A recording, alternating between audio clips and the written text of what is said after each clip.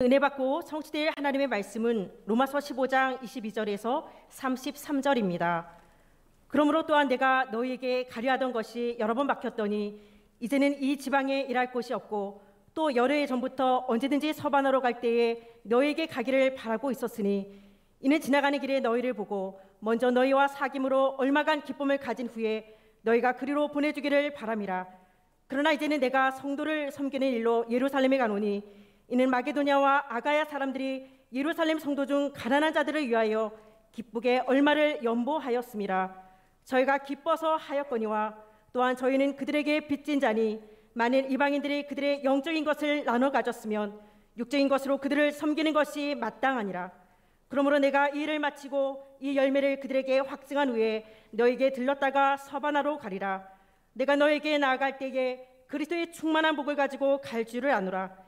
형제들아 내가 우리 주 예수 그리스도와 성령의 사랑으로 말미암아 너희를 권하노니 너희 기도에 나와 힘을 같이하여 나를 위하여 하나님께 빌어 나로 유대에서 순종하지 아니하는 자들로부터 건짐을 받게 하고 또 예루살렘에 대하여 내가 섬기는 일을 성도들이 받을 만하게 하고 나로 하나님의 뜻을 따라 기쁨으로 너에게 나아가 너희와 함께 편히 쉬게 하라 평강의 하나님께서 너희 모든 사람과 함께 계실지어다.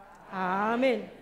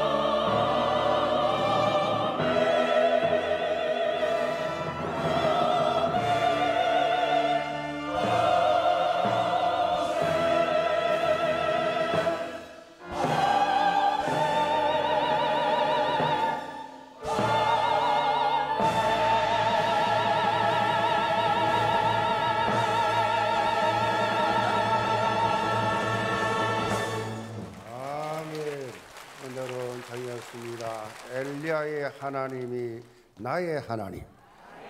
하늘에서 불을 내리고 3년 반 동안 비가 오지 않는데 비를 내리는 그 기도를 드린 그 엘리야의 그 기도가 우리의 기도가 되기 바랍니다. 우리와 성장이 똑같다. 이 말은 똑같아요. 사람은 별 차이가 없어요. 니나 내나 거의 차이가 없습니다. 그런데 믿음의 차이, 믿음의 차이. 얼마나 믿음이 크냐. 믿음이 얼마나 적으냐. 너 믿음이 크도다. 고닐로 보고 예, 말씀하죠. 너 믿음이 크도다. 베드로 보고 믿음이 왜 그래 적으냐. 믿음의 차이예요. 하나님은 사람을 차별하지 않습니다. 얼마나 하나님인 당신을 믿느냐. 믿는 것도 천차만별이요. 그러니까 이 엘리야가 하늘에 불을 내린 것처럼 그런 기도를 드린 것처럼 우리도 우리 기도로 하나님이 들으신다. 주여 나에게 엘리야 같은 믿음을 주옵소서. 그거 뭐 끝납니다. 그거 다 끝납니다. 나머지 다 들어 있어요. 신앙 고백합니다. 주는 그리스도시요 살아계신 하나님의 아들이십니다. 아멘. 아, 우리 해외 성도들 같이 서로 다 인사합시다. 온라인 예배 성도는 인사 안 해요, 나 이제. 나와야 되는데 왜 앉아 있어? 영혼 구원의 야망을 가집시다. 읽어드린 말씀 가지고 중단 없는 237 성교라는 제목으로 말씀을 드립니다. 오늘 우리가 살펴볼 이 로마서, 쭉 로마서를 우리가 살펴보고 있는데 오늘 이 본문 말씀은 본론의 마지막 부분이에요. 로마서의 전체 구조를 이렇게 보면 사도 바울이 로마 교회 성도들에게 전하고자 하는 목회적 신학적 메시지가 로마서 15장 13절로 딱 끝이 납니다. 그리고 마지막 장이 16장에 가서는 이제 아, 그동안에 문안 인사하고 수고하신 분들 소개하고 찬양으로 끝이 나요. 그 사이에 있는 오늘 본문 말씀입니다. 그 사이에 다 끝났는데 인사했는데 그 사이에 있는 그 본문 내용 사도 바울은 자신이 해야 할 이제 마지막 메시지를 하고 있습니다. 그것은 바로 한마디로 성교입니다. 성교. 사도 바울이 로마서를 기록한 핵심 목적 중 하나도 선교입니다.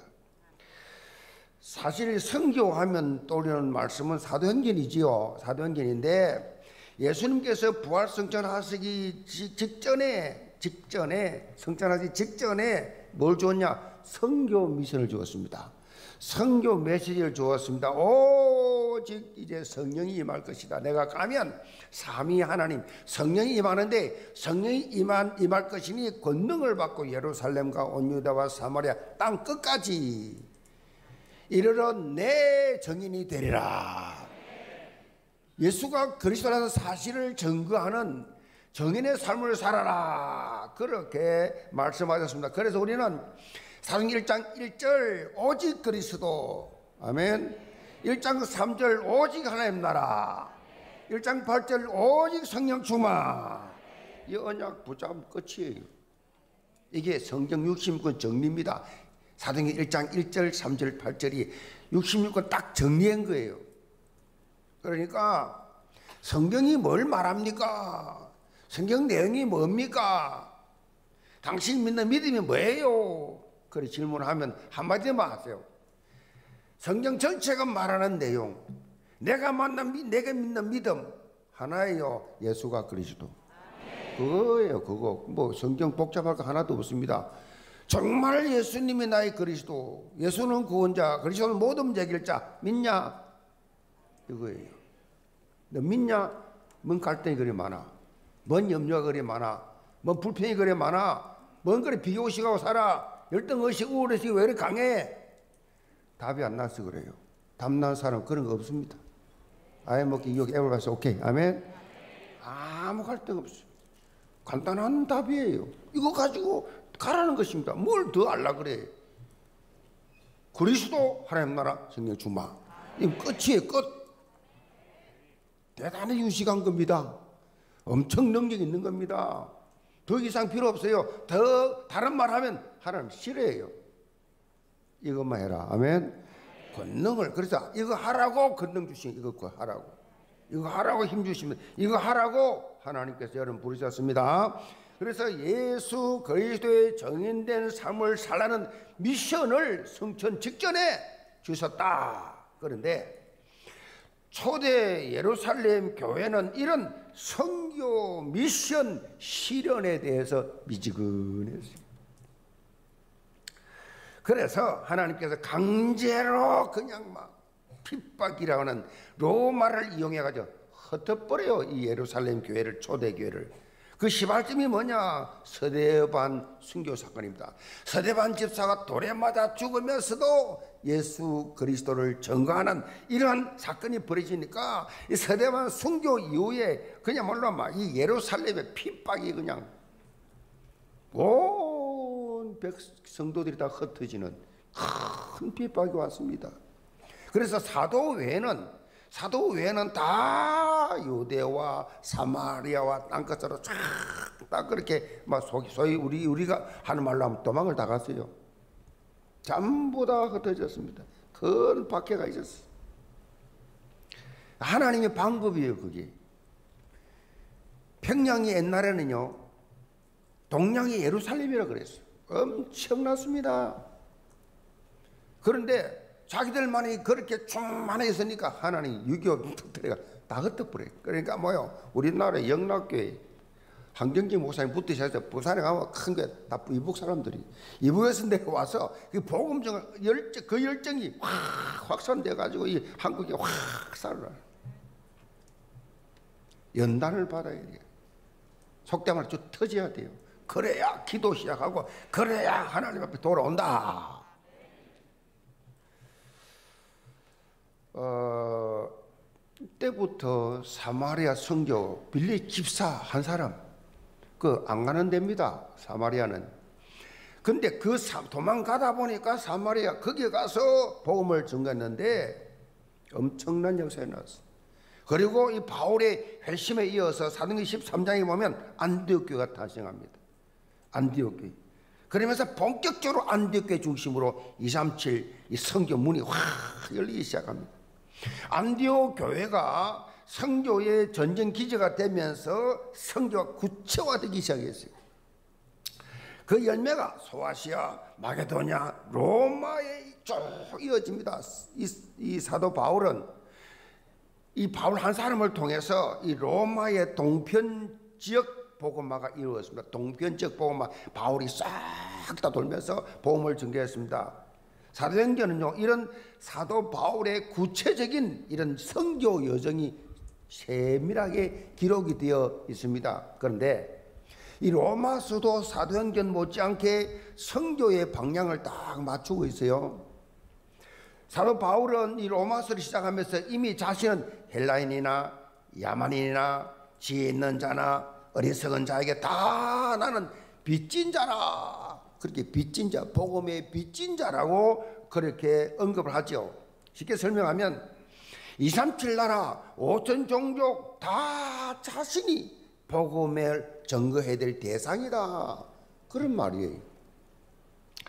어, 특별히 로마서 15장 16절에 보면 하나님께서 자신을 그리스도 예수의 일꾼으로 삼으시고 이방인을 위한 복음을 전거할 제사장의 직분을 그렇게 나에게 주셨다라고 고백을 하고 있습니다.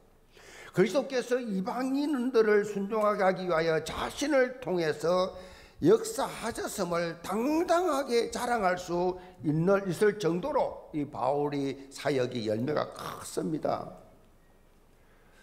바울이 이 14권의 성경을 썼는데 바울 서신이 없으면요 목회도 어떻게 해야 될지 모릅니다. 목회도 모르고 실제적으로 이, 사도행전 역사 모르니까 뭐 어떻게 성교해야 될지 전도할지 모릅니다. 근데 바울이 이걸 다 써놨단 말이에요. 얼마나 큰 은혜인지 몰라요. 사도 바울이 로마서를 기록할 당시는 이미 1차, 2차, 3차 선교 여행을 다 마친 상태였어요. 어떤 면에서는 이제는 실만한 시간입니다. 평생을 그렇게 선교장에서 죽도록 고생하면서 선교를 마무리했으니까 쉬어야 됩니다. 그런데 바울은 선교 이 현실에 안주하지 아니하고 또 다른 선교 비전을 그렇게 가지고 있다는 사실을 로마 교회 성도들에게 밝히고 있어요, 지금. 사도 바울은 선교를 위해 태어났고 선교를 위해서 일생을 바쳤고 선교를 위해서 선교하다 순교를 한 다시 말하면 사도 바울은 선교의 대명사였다. 어, 한마디로 선교 24 한 분이다. 마지막 순교하는 순간까지 중단 없는 언약적 도전을 했습니다. 이런 말이 있습니다. 실패하는 사람은 늘 과거의 말을 한다. 평범한 사람은 현재의 말을 한다. 성공하는 사람은 미래를 말한다 그랬어요. 영계 성도 여러분. 여러분들은 어떤 말을 합니까? 어떤 삶을 살고 있습니까? 사도 바울은 과거에 매있지 아니에요. 뒤에 있는 것은 잊어버리고 앞을 앞에 있는 것을 잡으려고 그 표대를 향하여 뭐요? 예수 그리스도 안에서 하나님이 위에서 부르신 부름을 향하여 달려가노라. 끊임없이 달려갔습니다. 현실에 안주하지 않았습니다. 미래를 향해서 언약적 도전을 해가는 그것이 하나님의 뜻이고 계획이면서 그것이 CVDIP다. 교회적으로 지난 주일에 본당 헌당을 위한 last 천을 헌신이 목표했던 100억을 돌파했습니다. 그래서 나는 평생 이제 오늘 이후로 말하지 않겠다 그랬는데 헌당위원회에서 또 150을 정해놨어요. 그건 난 잘 모르겠어요. 자, 올해까지 하나님께 작정을 연초에 했으니까 올해까지 한 거 하나님께 드리자. 여러분 그거 아셔야 돼요. 하나님 앞에 작정을 해놓고 하나님 앞에 약속해놓고 안 한다. 이건 어떤, 어떤, 어떤 결과가 오겠어요? 하나님 앞에 약속해놓고 교회를 개척할 때요 그런 분들 봤어요. 약속해놓고 도망가가 없어버려요. 도망가 버려요. 부담스럽다고 해놓고 이야 간땡이 크다. 결말들 다안 좋아요. 하나님 앞에 약속해놓고 저는 매일 기도합니다. 하나님 1927명 하나님의 작정한 분들이 있습니다. 하나님 앞에 드릴 수 있는 믿음 주시고 환경을 축복하여 주옵소서. 저는 매일 기도합니다. 그래서 작정한 분들이 있기 때문에 올해까지 갑니다. 이제는 237 성교를 위해서 본격적으로 그 발걸음을 내디뎌야 합니다. 코로나19 팬데믹 때문에 중단되었던 이 해외 전도 캠프 다시 시작합니다. 지난 주간에 이제 한 주간 필리핀 민도르 지역과 팔라완 이 지역의 사전 전도 캠프를 진행하고 왔습니다. 자, 9월에 봉전 전도 캠프가 이제 9월 달에 진행이 그렇게 됩니다. 제가 이 청년의 237, 237 나라 정탐꾼으로서 237 나라 현장을 다 분석해서 보고해라. 그렇게 미션을 주어 주었습니다. 특강하면서 그 지금 잘 진행되고 있어요. 10월 본당 헌당 예배 후에는 237 장로를 세우는 임직이 진행됩니다. 모든 것이 지금 일사불란하게 잘 진행되고 있습니다. 영계 전 성도가 영적으로 깨어서 성교 흐름을 잘 타시기 바랍니다. 그래서 오늘 말씀처럼 중단 없는 237 성교 주역으로 당당히 세임 받으시기를 제물로 축복합니다. 그럼 첫째로 성교 열정입니다. 22절을 봅니다. 그러므로 또한 내가 너에게 가려하던 것이 여러 번 맡겼더니 이제는 이 지방에 일할 곳이 없고 또 여러 해 전부터 언제든지 서바나로 갈 때에 너희에게 가기를 바라고 있었으니 이는 지나가는 길에 너희를 보고 먼저 너희와 사귐으로 얼마간 기쁨을 가진 후에 내가 거리로 보내주기를 바람이라. 이 바울은 로마 교회 성도들에게 자신의 선교 비전을 구체적으로 밝히고 있습니다. 지금까지 3차에 걸쳐서 복음을 선포했던 로마 제국의 동편 지역, 이 동편 지역을 이제 넘어서 이제는 남은 남쪽 지역, 이 반쪽 지역, 그 서방 지역을 이제 내가 주목을 하고 있다. 바울은 로마를 중심으로 당시 세상 끝이라고 얘기했던 것이 어디냐? 서바냐, 서바냐. 서바냐가 어디냐? 지금의 스페인이에요. 그같이 가기를 소망했어요. 마치 하박국 선지자가 물이 바다 덮음같이 여호와의 영광을 인정하는 것이 온 세상에 가득하게 될 것이라는 환상을 본 것처럼 이 사도 바울은 이 온 세계 보고 막 온전히 여기에 방향을 다 맞추고 있었어요. 그래서 사도행 20장 24절에 보면 바울은 스스로 그렇게 밝히고 있습니다. 하나님의 은혜의 복음을 전하는 일에는 나의 생명조차도 조금도 귀한 것으로 여기지 아니하노라. 그 정도로 어린 집중했어요. 한 인생 살면서 얼마나 멋있습니까? 영원히 남는 작품, 영원히 남는 이런 삶이 얼마나 아름답고 멋있습니까? 지금 이슬람과 아프리카, 중남미 여러 나라에도 지금 선교사들이 우리 교단뿐만 아니라 다른 교단 선교사들이 더 많이 가 있죠. 중남미, 아프리카 생명을 담보로 선교하고 있어. 여러분 동영상 보면 되실 거예요. 나이제리아, 나이제리아의 같은 동네인데 같은 동네인데 어 그 목사님하고 같은 동족이요. 이 나이제리아 사람들인데 복음 전한다고 하면 이슬람들이 와가지고 때려가도 나뭇가지를 가져와 태워 죽이는 거. 그 현장을 그대로 찍었어요. 그 두 사람을 끌고 와가지고 때리더니 동네 청정 청년들이 다 와가지고 막 때리더니 나뭇가지를 확 덮어가 불을 질러가고 태워 막 도망가는데 잡아가지고 때려줘. 그게 나이지리아 현장이에요. 지금 현재 예수 믿는다고. 예수 믿는다고. 그래서 생명을 담보로 해서 지금 또 복음 증거하는 선교사들이 이슬람권, 이 아프리카권에 많이 있습니다. 당시에는요, 바울이 지금 선교하겠다니 당시에는 지금 비교도 안 돼요.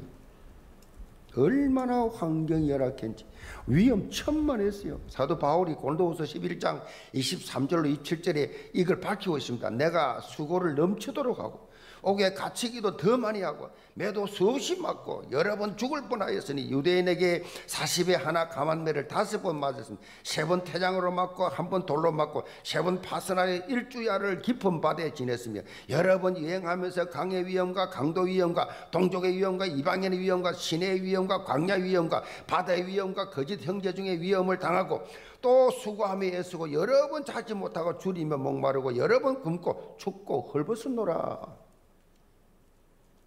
그만큼 온갖 위험과 역경 속에서도 사도 바울은 선교 열정을 가지고 중단 없는 그런 선교를 진행했다. 사도 바울은 더 구체적으로 로마 교회가 로마 제국 서방 지역 복음화를 위한 전초 기지가 되어서 자신을 좀 파송해 주기를 바라는 그런 말을 요청을 지금 하고 있습니다. 나를 파송해 달라.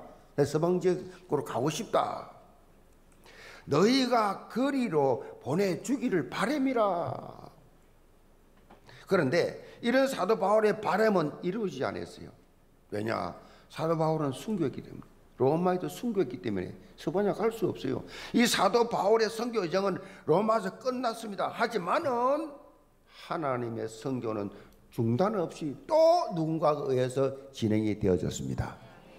코로나19 팬데믹 이전에 세계적인 그러한 그 관광 코스로 인기가 좋았던 스페인의 샌디에고 유명하잖아요. 샌디에고 샌디에고 순례길이라고 있습니다. 샌디에고 순례길 여기 대해서 뭐 들어본 분도 많을 것이고 가본 분도 있을 거예요. 샌디에고가 어디냐? 세인트 야고보입니다.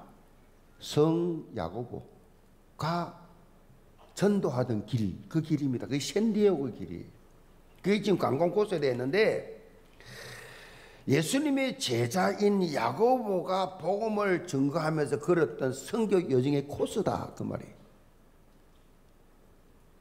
스페인 선교를 위해서 사도 바울 대신에 누가 갔냐? 야고보와 그의 제자들. 그들이 세임을 받았습니다. 우리가 잘 봐야 될 것이 하나님의 나라 확장에 나가는 사역 237 5천 종족 말한 어느 한 사람이 하는 게 아니에요.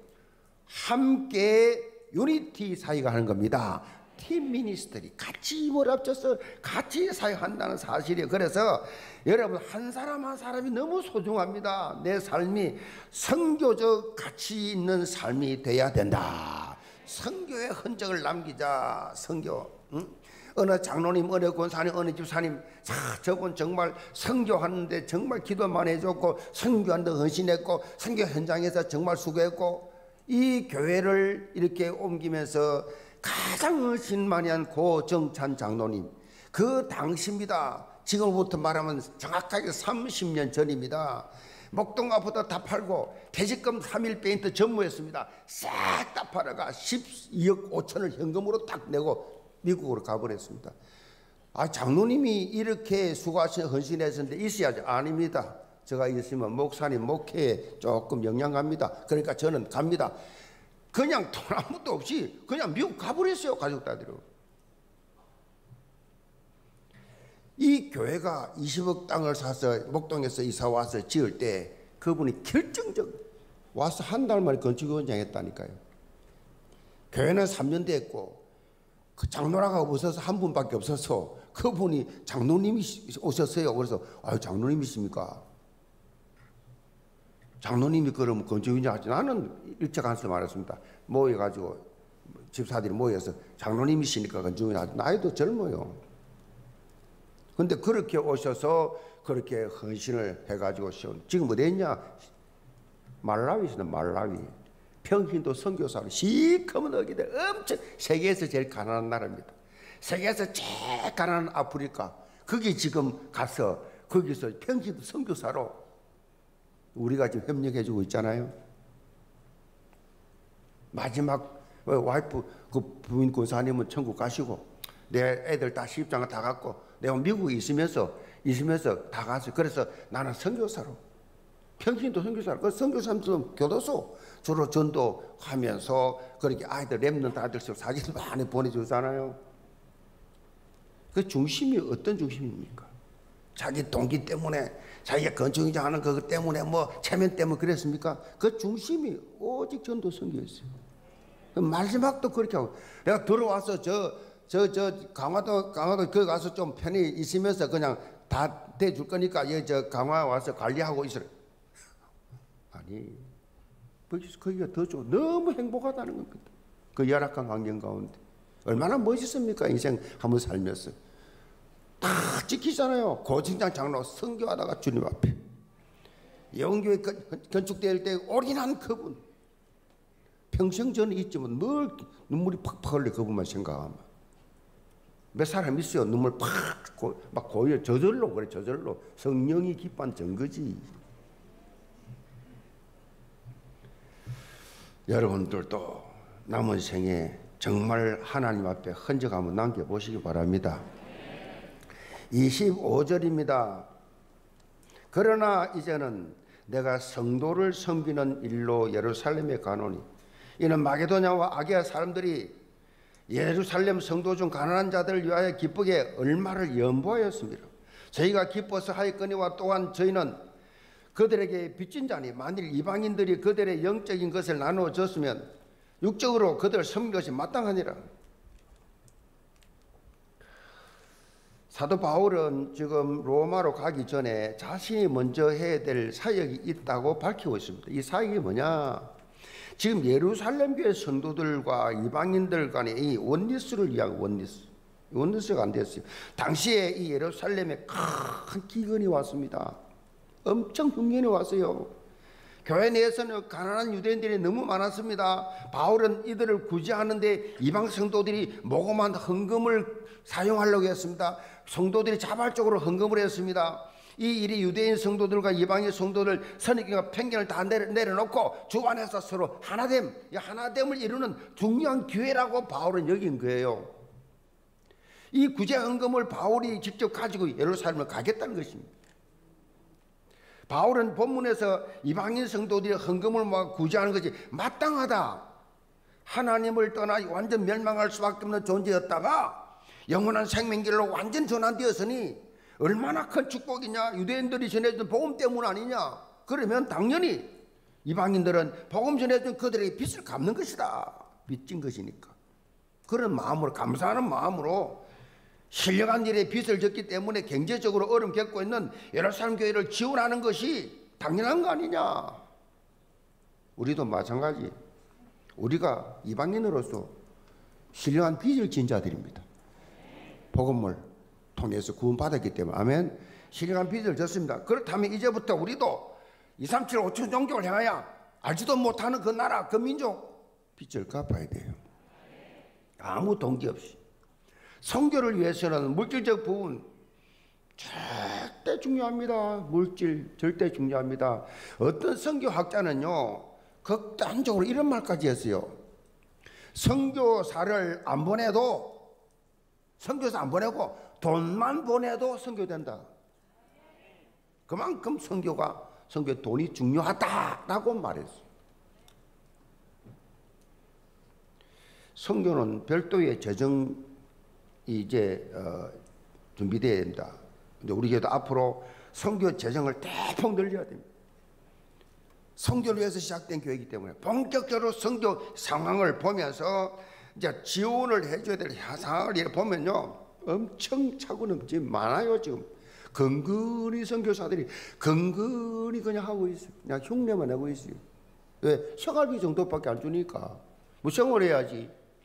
그 선교할 수 있도록 선교 할수 있는 선교비를 줘야지. 그건 생활 주는 거지. 그밖에 안 돼요. 그러면 앞으로 우리 선교할 수 있도록 막 힘차게 선교할 수 있도록 선교비를 줘야지. 그렇게 될 줄로 믿습니다. 어, 왜 사람이 복을 받아야 돼요? 하나님 내 사업이 잘 되게 해주십시오. 내 사업이 성공하게 해주십시오. 왜, 왜? 그 사업화가 잘 돼가 뭐할 건데. 산업인이 하나님 앞에 기도할 때는요, 성교 전도가 붙으시 됩니다. 이 성교를 위해서, 이 전도를, 이 영혼군을 위해서 하나님 이 기업을 사용하여 주옵소서. 이걸 복음 경제, 빛의 경제 그렇게 말합니다. 복음 빛의 경제. 그래서 성교하는 기업입니다. 그 기업은 사실 남들은 모르지만은 하나님 봤을 때는 성교를 위해서 올인하니까. 그런 거 우리 집사님 중에는요, 그런 분이 있어요. 막 성교지에 돈이 뭐 성교사 필요하다고 막, 막 천만, 이천만 보내고 성교지에 뭐꼭 필요한 걸 직접 막 아무도 모르게 하나님 앞에서 하는 분들이 있어요, 지금. 생색 안 내고. 하나님 앞에서 하는 분들이 있다니까요. 성교에 투자하는 것이 가장 가치 있는 투자예요. 따라서 봅시다. 성교에 투자하는 것이 영원한 투자다. 하나님 응답의 시간표는 잘 들으세요. 성교를 중심에서 이루어집니다.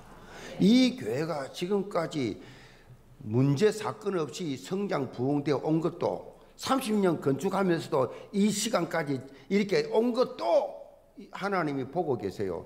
성교할 것이라고 기대하기 때문입니다.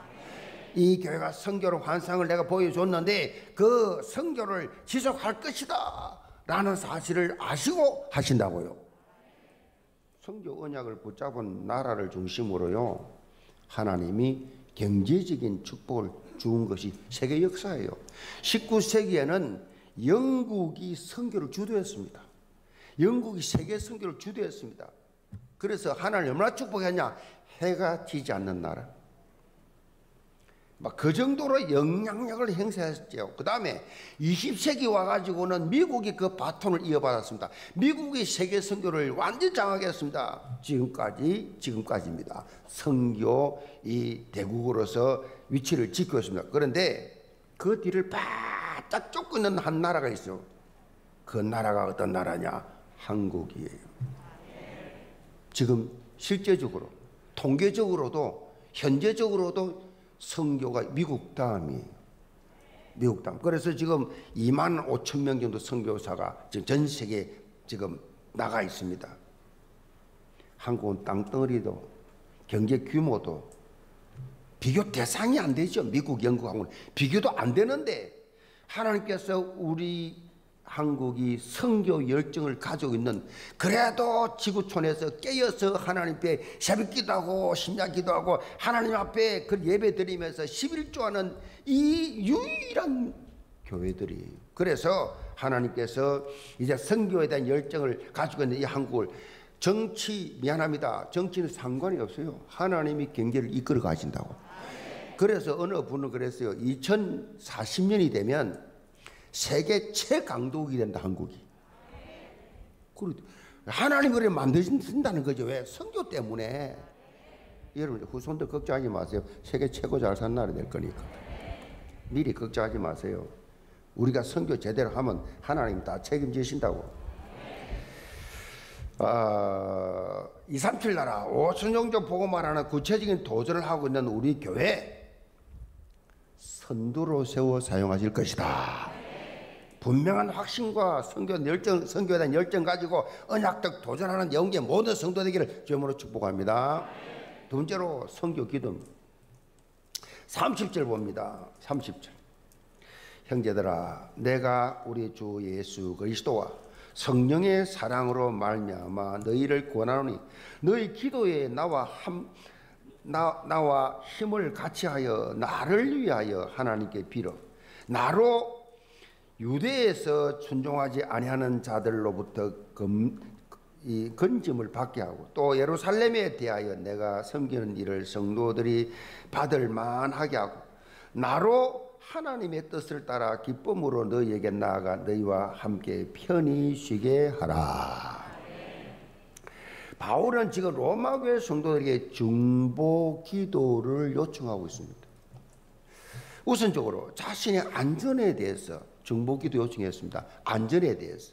왜냐 마게도냐와 아가야 성도들이 거두어 준 이 헌금을 가지고 예루살렘을 가는데 그 당시는 강도들이 많았고요. 그 당시는 뭐 교통수단이 안 좋아서 엄청나게 힘든 그 여정이에요. 그러니까 상당히 위험한 길입니다. 생명 걸고 가야 되는 길이었어요. 막 그런 강도뿐만 아니라 바울을 기회만 있으면 죽이겠다는 유대 이 유대 열성 분자들이 있었어요. 바울 저거 죽여야 된다. 이 배신자 죽여야 된다. 그래 그 열성 분자들이 도처에 호시탐탐 바울 죽이겠다고 대기하고 있는 사람들이 그렇게 있었어요. 또 한편으로는 자신이 가지고 가는 헌금이 헌금이 은혜롭게 전달되도록 이 무슨 말인가 하면요. 교회 안에 있으면서도 바울의 사도권, 저게 뭐 사도냐? 사도 예수님 따라다니지 않았거든요. 그런데 바울은 하나님과의 직접 만나, 예수 그리스도가 직접 만나서 사명을 받은 건데 이걸 누가 압니까? 계속해서 바울의 사도권에 대해서 대적을 계속 해왔다면 요즘 말하면 성교지의 성교비들 가운데 목사로 인정은 안 하는 거예요. 목사가 갔는데 그 참이 사역하기 힘들지요. 그런 그런 상황이에요. 그러니까 그리고 아직도 율법적 사고 방식이 팍 쩔어 있어 가지고 예루살렘 지도자들이 어떻게 우리가 이방인 돈을 받냐? 아, 구원받아 하나님 자녀인데 같은 성도가 되는데도 불구하고 저것들이 이방인 출신 아니야? 이방인 돈을 받을 수 없다라고 거부할 가능성이 많다는 거예요 지금. 바울이 너무 잘 알잖아요. 지금 상황을. 바울은 본문에 기도를 요청하면서 뭐라 그랬냐? 권하노니 힘을 같이 하여 이렇게 표현했습니다. 권하노니 힘을 같이 이 무슨 말인가 하면 간단한 말이 아니에요. 바울은요 시급하게 간절히 요청하는 그런 기도입니다. 이 권한다 이 말은요 우물쭈물할 시간이 없다. 권한다. 우물쭈물 할 시간 없다. 빨리 기도를 지금 시작했다. 오.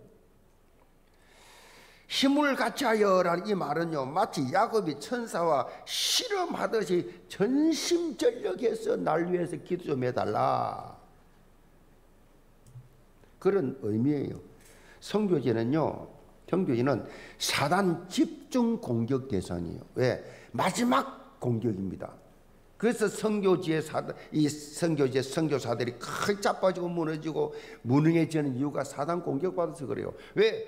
가장 중요한 선교를 앞장섰기 때문에 그걸 반 죽여버려야 되니까 그냥 이 병들게 하고 힘 빠지게 하고 그냥 낙심하게 하고 싸우게 하고 필리핀에 선교사가 제일 많이 있습니다. 마닐라에 몇천 명 있습니다. 몇천 명. 서로 싸우고 있어요. 한동안 한때는요 서로 싸워가지고 합동적 서로 싸워가지고 총회에서 가가지고 말리고 그렇게 서로 사역은 안 하고 싸움만 해요. 싸움만 해요. 서로 시기하고 질투하고 중상모략하고 성교할 생각 안 하고 매 싸움만 하니까 사단이요. 뭐 그냥 사단 주특기가 뭐예요? 이간질입니다. 이간질.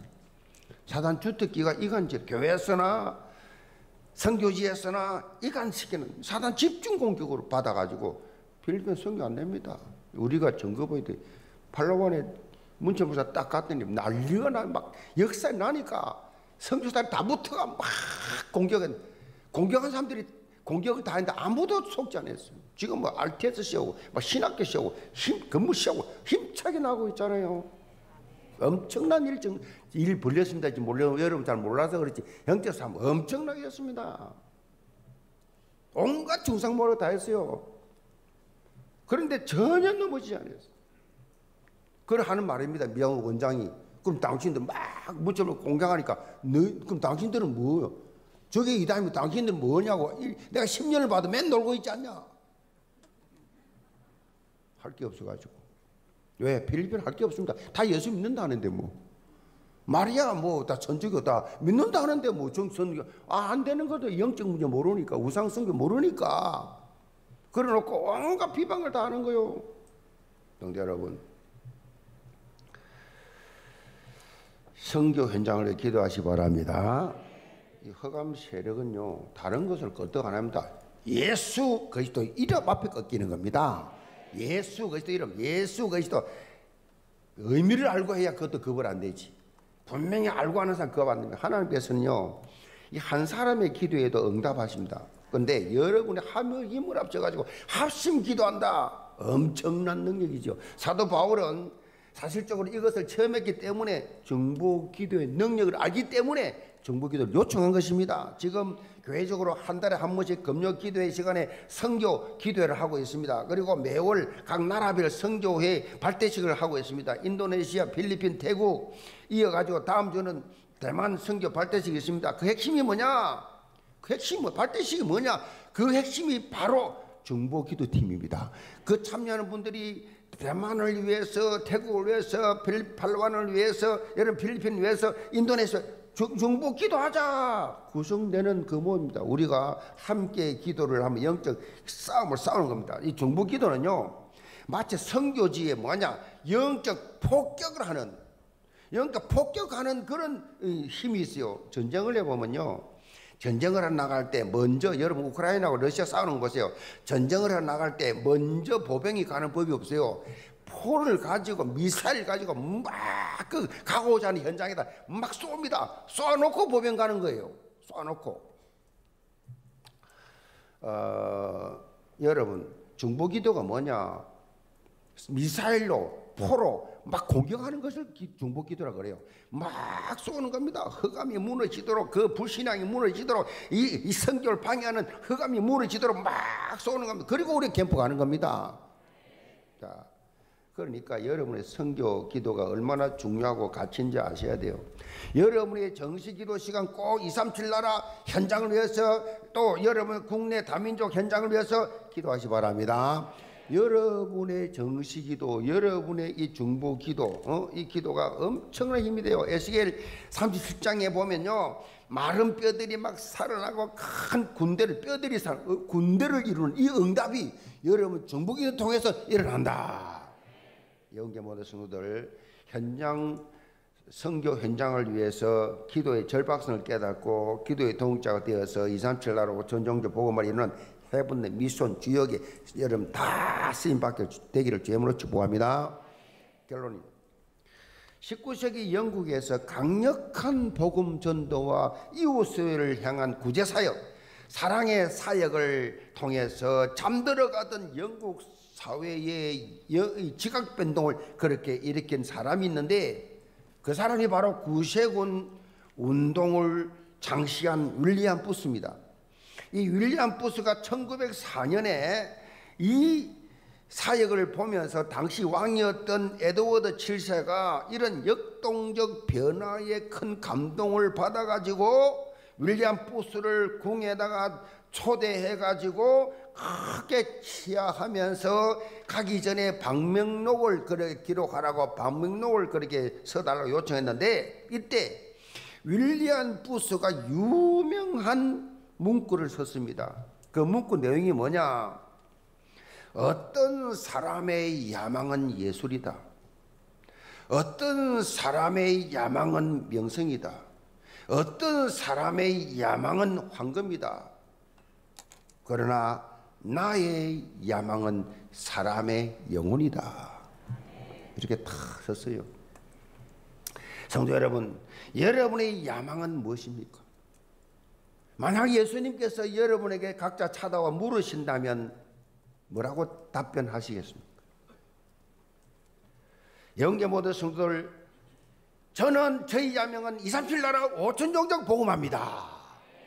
이렇게 여러분 고백할 수 있기를 바랍니다.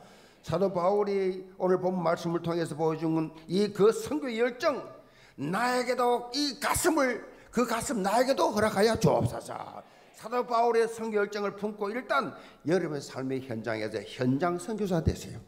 여러분 삶의 현장 현장 선교사로 살아야 돼. 그리고 교회가 진행하는 237 선교 로드맵 이 로드맵을 따라서 질문도 필요 없어요. 언약적 도전하는 237큐 서밋으로 다 쓰임 받게 되기를 주님으로 축복합니다.